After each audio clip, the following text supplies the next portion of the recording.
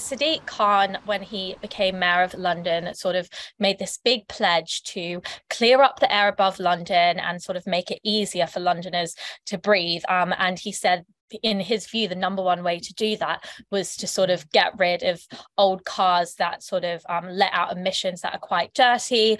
Um, and that's the way that he's going to clean up London's airspace. But the way he's been doing it through ULEZ has been really controversial. So the ultra low emission zone started off by just covering the area of London where there is also a congestion charge. So just the sort of central areas. And as Sadiq's term went on, he's slowly been expanding it more and more. And from August 29th, it's going to cover the entirety of Greater London. Now, that area includes some outer boroughs where there really isn't the same level of public transport infrastructure as there is in, say, zones one, two, and three. A lot of people in areas like Uxbridge and South Ruislip, the constituency, do rely on a car, and one in 10 drivers in those areas have cars that do not comply with uh, ULEZ rules. So they'll need to spend thousands of pounds changing over their car or they'll face a £12.50 daily charge under this expansion.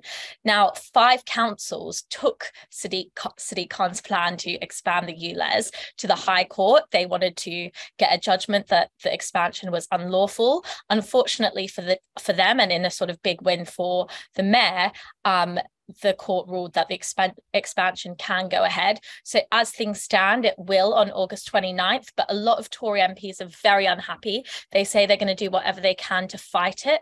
And the Tory candidate for London Mayor, Susan Hall, says that if she beats Sadiq Khan uh, to City Hall next year, the number one thing she will do is scrap the ULEZ. So, it's all getting very tense on London's roads. I've been listening for the last few months uh, since I announced the decision to expand the ULEZ.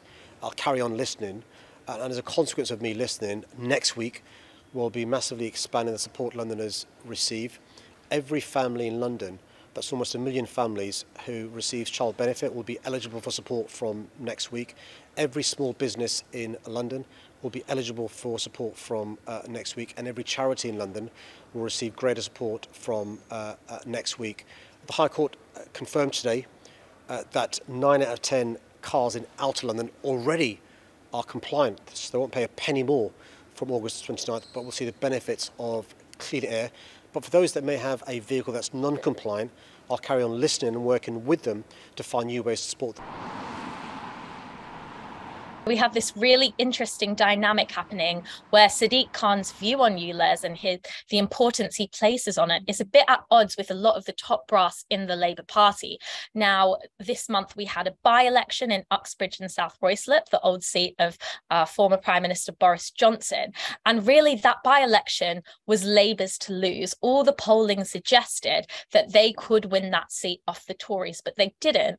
And what the party, both parties attributed that loss and the win for the Tories was real burning anger and outrage over ULEZ. So after that by-election, you had a lot of top Labour politicians such as Keir Starmer, Shadow Chancellor Rachel Reeves come out and urge Sadiq Khan to rethink the scheme, maybe pause it for a while so he can think of ways to make it easier uh, for people to make that transition to a greener car, especially during a cost of living crisis.